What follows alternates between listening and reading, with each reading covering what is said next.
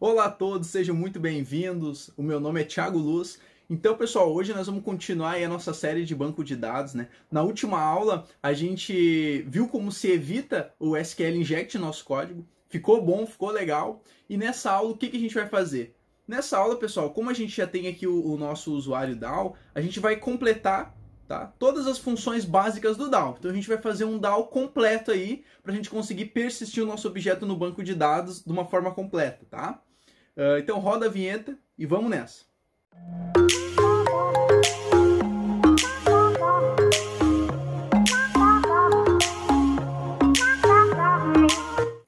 Bom, pessoal, então eu já abri o meu NetBeans aqui, ó. Eu já estou na classe usuário DAO. A gente já implementou o método insert e o método existe no banco.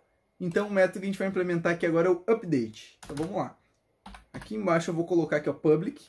Vou fazer uma função aqui. Public. E o meu update, ele vai ter que retornar alguma coisa? Por enquanto ainda não, pessoal. Então a gente vai colocar assim, ó, public void update.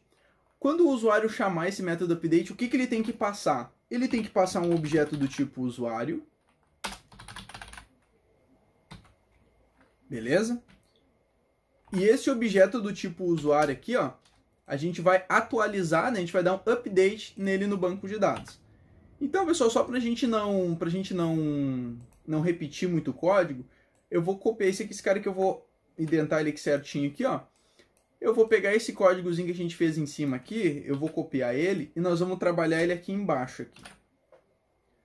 Então, olha só, pessoal, a gente vai fazer uma string SQL, só que ao invés de insert, pessoal, a gente vai dar o comando update, né? Então, atualiza para mim na tabela usuário, atualiza para mim na tabela usuário, esses caras aqui eu não preciso mais. Então, setando, né? Set usuário para. Como a gente aprendeu, pessoal, a gente consegue colocar agora o ponto de interrogação, né? Para a gente evitar o SQL inject lá. Então, seta o usuário para esse ponto de interrogação e seta a senha para um parâmetro, um ponto de interrogação que eu também vou colocar, né? Quando? Se eu deixar só essa parte aqui, pessoal, é o famoso update sem where, né? Eu vou atualizar todos os dados do meu banco de dados lá. Tipo assim, se eu passar aqui William, vai ficar todo mundo com o nome de William, né? E não é isso que a gente quer. Então a gente quer atualizar esse usuário aqui, ó, somente quando o ID dele, né? Então o, o usuário que solicitar o update vai ter que passar dentro desse usuário que vai ter que passar o ID. E aí a gente vai verificar aqui por ID na hora de atualizar no banco de dados. Ah, lá no meu banco de dados, tem um usuário com esse mesmo ID? Tem. Então atualiza ele. Então aqui a gente vai colocar um erro, ó, quando né, o ID for igual a outro ponto de interrogação, terceiro parâmetro, tá? Então, perfeito, pessoal. Montei o meu, montei meu SQL aqui. Aqui eu vou preparar o meu statement, né? Eu vou abrir minha conexão, preparo o meu statement com o meu SQL. Perfeito? Então, até aqui tranquilo, ó. Ele vai preparar o statement com o meu SQL. Eu vou ver que o que, que ele está que, que ele tá dizendo para mim. Vamos ver o que, que ele está reinando aqui para mim. Adicionar cláusula throws para uh, SQL exception. Perfeito, vamos. Aí ele vai colocar um throws aqui em cima. Aqui, pessoal, a gente vai setar ó, os parâmetros que a gente passou lá no SQL. Então, o primeiro parâmetro, qual que a gente quer que seja? A gente quer que seja o nome do usuário, né? Então, a gente já está pegando aqui, ó, usuário get usuário. Perfeito? O primeiro parâmetro, ok. Aqui no segundo parâmetro, é o parâmetro da senha. Então, usuário.get senha. Perfeito. E no terceiro parâmetro aqui, pessoal? Bom, no terceiro parâmetro vai ter que ser um ID, tá? Então eu vou copiar esse cara aqui, ó. Vou colar aqui. Vou colocar aqui o 3, né? Porque ele está na posição 1, 2, 3. E vou mandar ele me puxar aqui usuário.getID, tá? Usuário.getID. Então, pessoal, ele me deu um erro no meu código. Tá, Thiago, mas como assim, Thiago? Olha só, tu não copiou dali, não tá tudo certo? Tu copiou igual os outros e colocou aqui. Sim, pessoal, a gente copiou igual. Mas vamos parar para pensar numa coisa, olha só. O usuário, de que tipo ele é? Ele é um tipo string, certo? Quando ele converter isso aqui para uma string SQL, ele vai vir aqui e vai formatar naquele aspa simples, sabe? Que é o padrão de string para o SQL, tá? Então, o que, que acontece no ID? Se a gente fosse escrever o SQL no ID, pessoal, aqui ó, a gente não ia colocar aspas simples. Por quê? Porque no SQL, esse cara aqui é um número, tá? Ele é para ser um number aqui no SQL. Então, como é que a gente está dando um set string nele aqui? Então, não pode ser set string, pessoal. Tem que ser algum set alguma coisa. Então, eu vou ensinar uma mãe para vocês, se vocês tiverem qualquer outro tipo de dado, boolean para salvar, ou tiver um tipo date, a gente vem aqui, ó, e dá um set, control espaço, né? Vamos ver o que, que ele diz para nós aqui, ó. Eu tenho set boolean, set byte, mas eu quero um set int, né? A minha, aqui, ó, set int. Então aqui, pessoal, ele vai pegar esse valor aqui e vai setar aqui para nós na nossa string como um inteiro, tá? Então, perfeito, ó. A gente já fez os parâmetros aqui, a gente vai dar um execute no final. Método update criado com sucesso, tá? Vamos para o próximo método. Eu quero criar um, um, método aqui, pessoal, que eu acho interessante também ter no DAO, tá?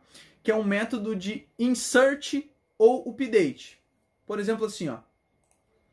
Eu quero poder passar um usuário e o sistema verifique para mim se ele tem ID. Se ele tiver ID, eu vou dar um, um update. Se ele não tiver um ID, eu vou dar um insert.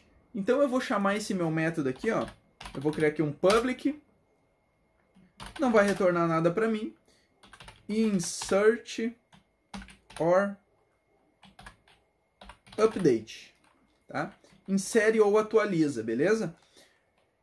E esse insert or update, o que, que eu vou fazer? Eu tenho que passar para ele um usuário, né? Então eu vou fazer aqui usuário, usuário.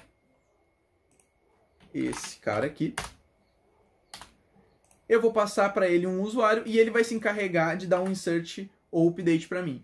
Então o que, que nós vamos fazer agora, pessoal? A gente vai copiar isso aqui, vamos dar um Ctrl C e vamos colar aqui embaixo e depois vamos pegar o do update, dar um Ctrl C e colar aqui embaixo. Será? Olha só, pessoal. A gente já está na, a gente já tá dentro da nossa classe usuário DAO.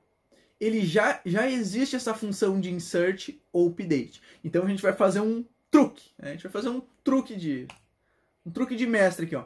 Na função insert ou update, ao invés de a gente pegar esse código aqui e implementar ele de novo na, na classe, a gente vai fazer o seguinte. A gente vai testar se esse usuário que está vindo aqui, ó. Vamos lá comigo, ó. Esse usuário que está vindo. Vamos pegar o get ID dele, ó. Get ID. O ID do usuário que está vindo. Ele é maior que zero? Vamos fazer, vamos ver. O ID do usuário que está vindo, ele é maior que zero? Se for maior que zero, pessoal, quer dizer que ele tem ID. E se ele tem ID, o que, que a gente vai fazer? A gente quer dar um update nele, porque já tem um ID no banco. Vamos só atualizar. Então o que, que a gente faz? Olha só, a gente chama a função update aqui de dentro, olha lá, ó, passando esse nosso usuário. Ó. A função update não recebe um usuário? Sim. A nossa função insert update não, não, não, não recebe um usuário também? Sim. Então eu vou chamar o update passando esse usuário que eu tenho aqui. Agora, pessoal, se não, né? Se, se, não, se o ID não for maior que zero, o que, que quer dizer? Quer dizer que a gente quer inserir ele no banco, ele não tem ID. Então eu vou dar aqui um insert usuário, ó. Vou pegar esse meu usuário aqui e vou inserir ele no banco. Perfeito. Só que como aqui a gente tem um throws, né, uh, um throws SQL exception, ele vai pedir para mim também, ó, adicionar throws. Perfeito, vamos. Olha só, pessoal. Nosso método insert ou update, ele utiliza, ele abstrai do, do usuário, ele utiliza as funções internas da própria classe. Beleza, isso aqui tá bonito. Vamos continuar. Além da função insert ou update, a gente tem que ter uma função de delete, né? Quando a gente quiser deletar algum usuário do banco de dados. Então eu vou colocar aqui um public void delete, né? Esse meu delete aqui eu vou passar um usuário do tipo usuário também. Olha só. E agora o que, que eu quero fazer, pessoal? Eu quero deletar um usuário do banco de dados. Para mim deletar um usuário, eu vou sempre eu vou, deletar ele aqui, eu vou escolher o ID, né? Então esse usuário que vir aqui, ele vai ter que ter o ID. Quando eu pegar o ID dele, eu vou deletar um cara lá do banco, tá, pessoal? Então vamos fazer aqui, ó. Vou pegar esse cara aqui de cima aqui. E vamos fazer, vamos fazer um delete nesse cara. Vamos colocar aqui já o, o, o throws, né, para SQL exception e vamos fazer a nossa, a nossa string SQL aqui em cima. Então eu vou dar um delete from usuário. deleta na tabela usuário quando o ID for igual a, vamos passar aqui o nosso ponto de interrogação, né, pessoal? Então aqui no primeiro, eu vou fazer um statement, vou pegar a conexão, vou preparar um statement, depois eu vou pegar aqui, pessoal, vou, agora eu não tenho três parâmetros, ó, eu só tenho um. E esse parâmetro que eu tenho é o ID. Então eu vou vir aqui dar um set int, como a gente aprendeu, olha lá, ó, Ctrl espaço, olha, já completou para mim. E vamos pegar aqui o usuário.getID. Olha lá, perfeito. Fiz o meu delete, né? Peguei e executei ele no banco de dados. Até aqui, pessoal, tranquilo. Nosso delete aqui bem, bem fácil, né? Vamos ver se a gente tem mais alguma coisa para implementar. Ah, pessoal, tem umas coisas bacanas para implementar aqui no nosso usuário, tá? Vamos implementar um método, então, agora que busca todos os usuários do banco de dados, que é o que geralmente um DAO também tem que ter, né? Então, eu quero um método que me traga todos os usuários do banco de dados. Então, eu vou fazer aqui um public. Só que agora, ao invés de void, pessoal, eu não quero retornar um void. Eu quero retornar todos os usuários do banco. Então, o que, o que, que eu posso retornar aqui? Então, eu vou retornar um array list, ó, pessoal, eu vou aqui, ó, um array list Vou dar um Ctrl espaço aqui, ó. Esse cara aqui, Java útil, ó. Eu quero retornar um array list de, eu consigo passar o tipo dele aqui, ó, de usuário. Então eu vou retornar um array list de usuário e vou chamar essa função de select all. Select, seleciona para mim todos, né? Vou colocar aqui, vou fechar o meu método, minha função. Então esse meu método select all, quando eu chamar ele, ele vai me trazer um array list com vários usuários, tá, pessoal? Então vamos implementar esse cara aí, vamos ver como é que implementa ele. Uh, vou, vou, pegar, vou pegar aqui, pessoal, a string SQL que a gente vai precisar. E vou pegar esse prepared statement que a gente vai precisar aqui também, tá? Vou colocar esse cara aqui. Ao invés de delete, a gente vai precisar agora fazer um select. Então eu vou fazer assim, ó, select, asterisco, já que eu quero todos, né? Uh, from, na tabela usuário, me dá um select asterisco from usuário. Esse código aqui já vai me retornar todos. Então aqui embaixo, eu vou preparar, fazer meu, preparo meu statement, vou adicionar o throws aqui para esse cara aqui. Perfeito, adicionei. Então aqui embaixo, pessoal, o que, que, eu, vou, o que, que eu vou fazer? Bom, uh, eu quero esse, eu quero o resultado desse cara numa lista, né? Então primeiro eu vou criar a minha lista aqui embaixo. Ó. Então eu quero, eu quero criar um novo array list de do tipo usuário, que é o que eu vou precisar retornar, né? E essa lista, eu vou chamar essa lista de usuários. E, e, e, esse, e essa variável usuários, olha só, eu estou criando uma variável, né? É uma variável usuários e dentro dela eu vou poder colocar vários, uma lista de vários usuários.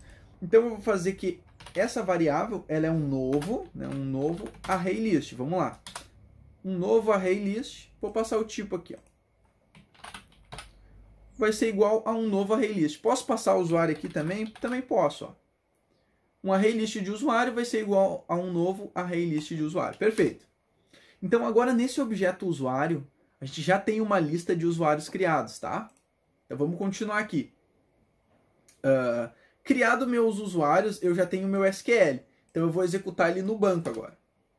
Então eu vou fazer o seguinte, eu vou chamar o meu statement e vou dizer para ele, ó, statement, executa, né? statement.execute. Feito o meu execute, tá?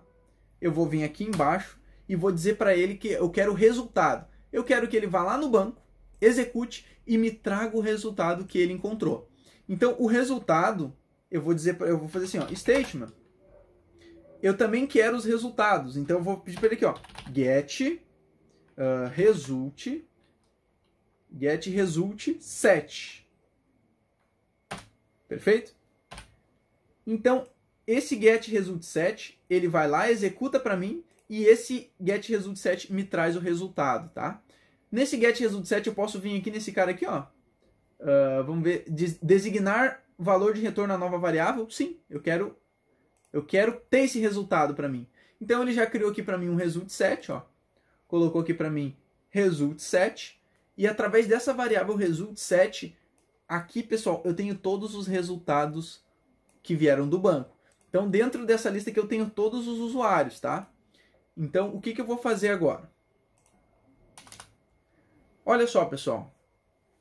Dentro desse result set, eu não tenho várias linhas. Imagina o resultado vindo do SQL agora. Veio o resultado do SQL, eu tenho várias linhas e várias colunas, tá? Então, dentro desse result set aqui, eu tenho várias linhas. Como é que eu vou, como é que eu vou transformar agora esse result set em, nos meus objetos do usuário? Eu vou fazer o seguinte, pessoal. Eu vou percorrer dentro do, do result set cada linha. Eu vou pegar na primeira linha. A primeira linha que tiver dentro desse result set, ele vai ser um usuário para mim no meu código fonte. Então eu vou fazer o seguinte. Eu vou chamar o result set e existe um método no result set chamado next.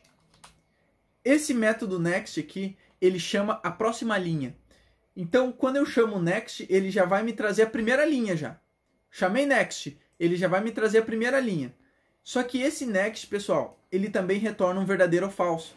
Ele me diz se existe essa, essa, essa próxima linha, né? Então eu vou fazer o seguinte, eu vou rodar um comando while. Enquanto enquanto tiver próxima linha, olha lá, pessoal. Enquanto eu tiver próxima linha, enquanto eu estiver lendo linhas, eu vou aqui dentro extrair um usuário daqui. O que, que um usuário tem, pessoal? O usuário ele tem um ID, né? Então vou colocar aqui, ó. Ele tem um ID. O que, que um usuário tem mais? Um usuário tem uma string chamada usuário. E um usuário tem aqui uma string senha. Olha lá. Então, no ID, eu quero que ele... Aqui agora eu já tenho acesso à linha, ó, pessoal. Eu posso fazer result set ponto get traz para mim. Opa get byte não. Get isso aqui é um, o id é um int né? Então get int. E eu quero pegar o que tiver escrito lá na coluna id olha lá pessoal aqui eu vou querer o result set ponto get isso aqui é uma string, né? Então eu vou pegar get string, o que tiver escrito lá na coluna usuário. E aqui embaixo eu vou querer o meu result set. Ponto get string também. O que tiver lá na minha coluna sem. Perfeito? Olha que mágico isso aqui. Nós vamos percorrer cada linha, tá? Quando eu dei um, um next, esse result set aqui, ó, ele virou a linha. Então a gente pega a linha e diz para ela, ó, eu quero o que tiver na coluna ID. Bota aqui nesse ID aqui. Pega o que tiver lá na coluna usuário. Bota nesse usuário aqui. Pega o que tiver lá na coluna senha. Bota nessa senha aqui. Agora com esses três dados que a gente tem aqui, o que, que a gente vai fazer? A gente vai criar um usuário com ele, ó. Então a gente vai pegar esses caras aqui e vamos, e vamos criar um tipo usuário usuário. Vamos chamar esse, essa variável de uso. Só para ficar fácil. Usuário com dados do banco. Porque esse aqui vai ser um usuário com os dados do banco. Ele vai ser igual a um novo usuário. E para criar a gente tem aqui, ó, a gente fez um construtor que é onde a gente pode passar o ID, o usuário e a senha. Então a gente seleciona ele aqui, ó, onde a gente passa o ID, que é essa variável aqui, o usuário, que é essa variável aqui, e a senha. Então, agora, olha pessoal, a gente conseguiu transformar essa linha num usuário, ó, usuário com dados do banco. E o que, que a gente vai fazer agora? A gente vai pegar essa nossa lista de usuários que a gente criou aqui em cima, ó, esses usuários aqui, ó, usuários, e vamos dar um add, um método add. Para quem não sabe, o método add no ArrayList adiciona um novo elemento, tá? Então nós vamos adicionar dentro dessa lista aqui de usuários esse usuário com os dados do banco. Olha lá, pessoal. Perfeito, pessoal. Com isso aqui, ó, a gente já consegue fazer olha só comigo o que, que ele vai fazer lá no código. Ó. Ele vai vir na, na linha, vai pegar os dados de cada coluna e vai, e vai trazer para esse usuário com os dados do banco. Aí ele vai adicionar na lista. Depois, pessoal, ele vai, ele vai voltar aqui para o while e vai verificar se existe uma outra linha. Tem uma outra linha? Tem. Então ele vai ir para essa outra linha e aí ele vai pegar o ID dessa outra linha, o usuário, a senha, vai criar um usuário e vai trazer para e vai adicionar na nossa lista. Então aqui, pessoal, a gente vai percorrer todas as linhas do, do, do código e vai trazer um array list de usuários aqui. Ó. Então o que, que basta no final nós fazer aqui? No final, pessoal, basta que a gente retorne aqui, ó. Return usuários. A gente retorna essa lista aqui que vai estar tá preenchida, ó. Então, pessoal, nosso método select all já está feito. Quando um cara chamar ele, ele já vai ter a garantia de que vai vir um, uma lista de usuários aí, tá? Então, continuando, pessoal. Bom, pessoal, então agora a gente vai criar aí o método select por ID, né? A gente quer também poder selecionar um usuário. Tipo assim, a gente passou um ID de um usuário, a gente quer que retornar todo esse usuário lá do banco, né? Então aqui, pessoal, eu vou criar aqui um public, né? um, public, e ele vai me retornar o quê? Então ele vai me retornar um tipo usuário, ó. E esse tipo usuário que ele vai me retornar aqui, eu vou chamar essa função de select por ID, tá bom? Então o que, que eu tenho que passar aqui dentro? Eu vou passar aqui um usuário, tá? E agora o sistema vai ter que pesquisar para mim por ID esse usuário e me retornar ele, tá? Então eu vou colocar aqui embaixo, pessoal, eu vou começar criando o que a gente sempre faz. Ó. Vou pegar aqui minha string, minha string SQL. Então aqui select asterisco from usuário quando né, o ID desse usuário aí for igual a um parâmetro. E aqui eu vou pegar um código aqui para a gente completar um parâmetro, esse setInt aqui, ó eu vou setar o parâmetro dele aqui embaixo. Esse parâmetro aqui, eu estou dizendo que pega o parâmetro 1, né? Opa, esse, esse aqui tem que ser embaixo aqui, peraí. Esse códigozinho aqui, ele tem que ser embaixo desse aqui. Opa. Tem que ser embaixo desse cara aqui, ó. Perfeito. Então ele vai pegar o meu statement e vai setar como inteiro o, na primeira posição aqui o usuário getID. Perfeito, eu vou vir aqui nesse cara aqui e vou adicionar um throws para ele. Então, olha só, pessoal, eu vou selecionar um usuário por ID, tá? Então, eu já setei aqui. Agora, basta eu executar, né? Eu vou querer executar esse meu cara aqui. Então, eu vou chamar aqui o meu statement ponto execute.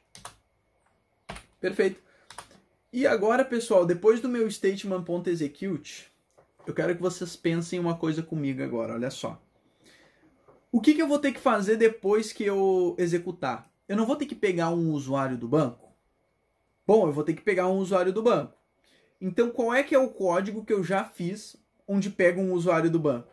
Se vocês olharem aqui, pessoal, no nosso select all que a gente implementou aqui, ó, essa função aqui, ó, ela pega o resultado. É exatamente isso que a gente vai ter que fazer agora, ó. A gente vai ter que dar o result set, ó, pegar os resultados e pegar lá nas linhas, transformar isso num usuário e retornar. Só que isso aqui ele está fazendo com uma lista, tá, pessoal?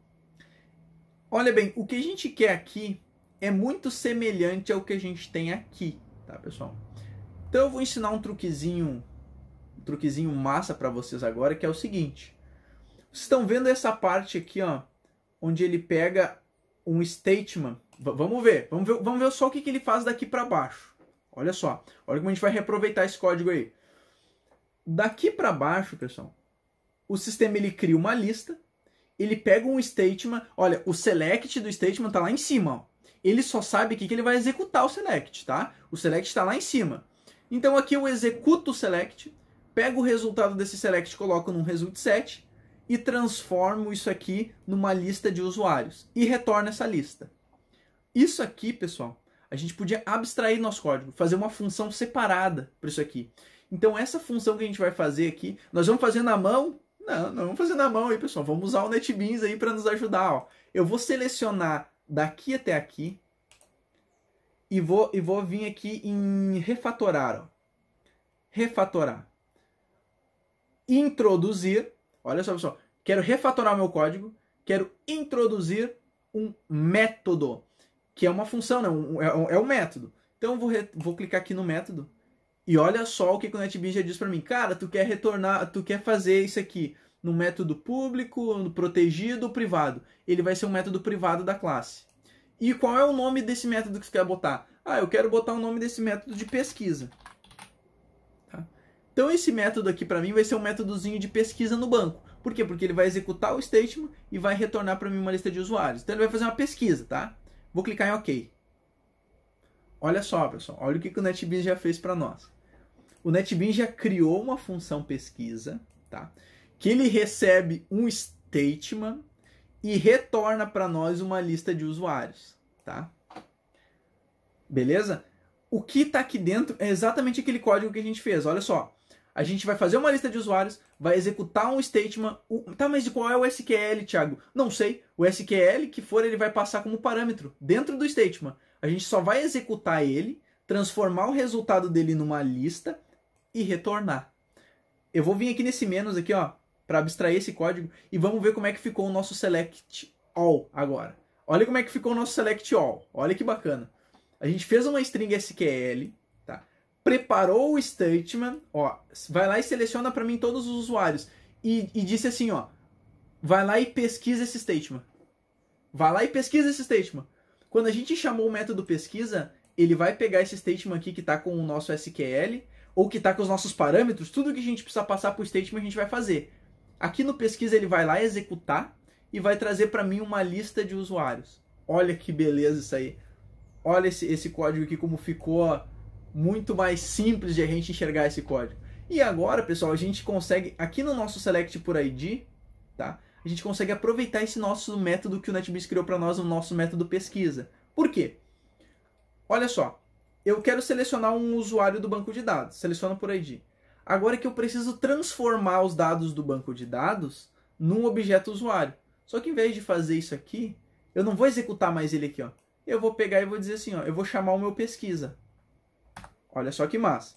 Eu vou dizer para mim, cara, vai lá, vai, vai lá e pesquisa. Pesquisa para mim esse statement. Ponto e vírgula. Então, olha só, pessoal.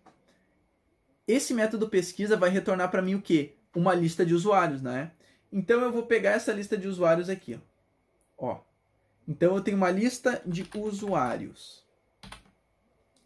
Beleza, pessoal? Nessa lista de usuários, a gente sabe porque a gente fez um método pesquisa que o select por ID ele vai retornar quantos registros? Um. Quer dizer que essa lista aqui, ó, vai ter só, vai ter, a gente precisa só do primeiro registro, vai ser só ele. Então a gente vai mandar a função retornar o, a lista de usuários ponto get e a gente consegue passar o index aqui, ó como o index começa em zero né, da lista, o primeiro item da lista está na posição zero. O segundo, item, o segundo usuário da lista está na posição 1. Então, eu quero o primeiro, eu vou passar index 0. Retorna para mim o primeiro cara que tiver nessa lista de usuários. Ó. O que eu mandei retornar não é um tipo usuário? É. A minha, essa lista que ele trouxe aqui não é do tipo usuário? É também. Então, se eu pegar o primeiro item dessa lista, eu vou retornar aqui o usuário. Perfeito, pessoal? Olha como tá mais simplificado esse nosso código aí. Agão, perfeito, tá? Tem como a gente fazer melhor? Tem. Vamos comigo, pessoal. Olha só. Olha a loucura. Eu tô mandando aqui, ó, esse método pesquisa. O que, que ele vai me retornar? Vocês vão olhar aqui, vamos dizer assim. Cara, ele vai te retornar uma lista de usuário. Perfeito? Essa lista de usuário eu estou pegando ela aqui e estou retornando o primeiro item. Beleza? Mas olha só, pessoal. Esse trecho de código aqui, ó. Eu quero que vocês pensem nele aqui, ó. Esse aqui, ó.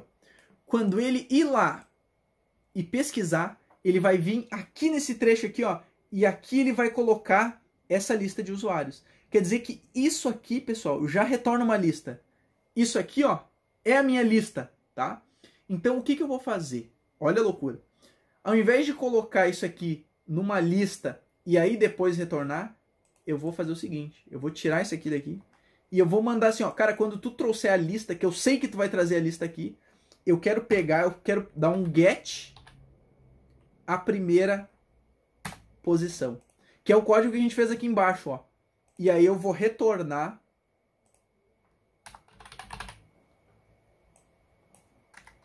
isso aqui. Olha só. Olha só que bacana que ficou agora. Eu sei que o método pesquisa vai me retornar uma lista, tá? E eu sei que a lista tem um método .get. Então, quando ele me retornou a lista, eu disse assim, ó, uh, me retorna a lista e me retorna só a primeira posição da lista. Eu resumi aquela, aquilo que a gente tinha feito antes em uma só linha, pessoal. Então, pessoal, uh, vou dar uma olhada aqui, vamos ver se a gente tem mais um método para implementar no nosso DAO.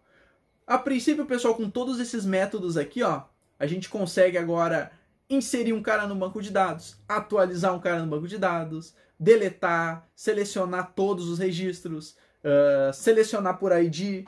Então, olha só, pessoal. Então a gente fez aí a implementação toda da classe DAO, tá? Na próxima aula, então, a gente vai fazer um teste agora dessa classe aí, dessa classe DAO, para ver se ela tá legal, para ver se ela tá inserindo no banco de dados mesmo, deletando no banco de dados, tá? E nós vamos ver também alguns problemas que a gente também tem nessa classe aí e vamos buscar uma maneira de sempre estar tá melhorando o nosso código.